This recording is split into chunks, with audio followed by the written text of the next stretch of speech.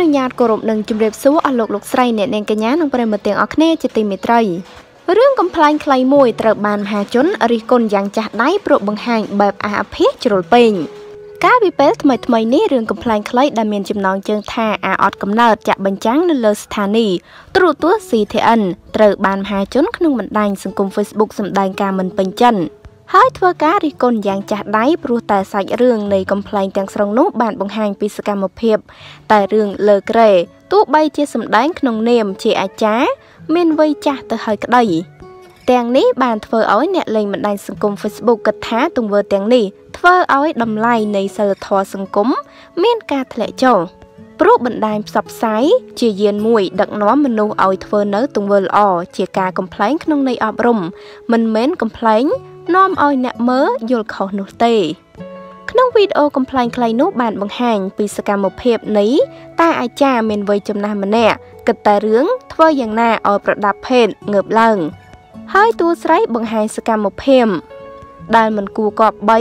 ដើម្បីប្រតិបត្តិការជាមួយខ្លួន និងខំរកវិធីផ្សេងផ្សេងគ្រប់បែបយ៉ាងបើទោះបីជាកំពុងតែដើរសម្ដៅចូលទៅវត្តហើយពេលឃើញនារីម្នាក់ជ្រុះត្រសក់ហើយ កាន់បែបអះអភាពេលឃើញបែបនេះក៏មានអារម្មណ៍ផ្លូវភេទភ្លាម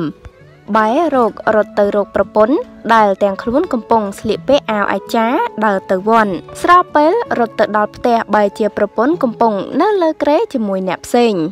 ទង្វើទាំងអស់នេះធ្វើឲ្យប៉ះពាល់តម្លៃសង្គមជាខ្លាំង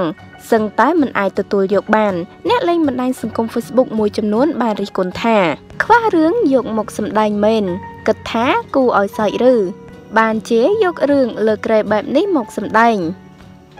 ចាំមើលលើក្រោយសម្ដែងរឿងអាអភេសតែម្ដងទៅវីដេអូនេះត្រូវបានបង្ហោះនៅលើទំព័រ Facebook មួយអ្នកទស្សនាជាងកន្លះលានដងទៅហើយជាមួយនឹងពាក្យរិះគន់ជាច្រើន ចារឿងកំ pl ែងមួយរបស់ស្ថានីយ៍ទូរទស្សន៍ CTN ត្រូវបានគេរិះគន់គឺយ៉ាងចាស់ដៃតែម្ដង ដោយរឿងនោះដែរមានលក្ខណៈអះអាភាសខ្លាំងពេកបងប្អូនអាចទស្សនាវីដេអូកំ pl ែងនេះ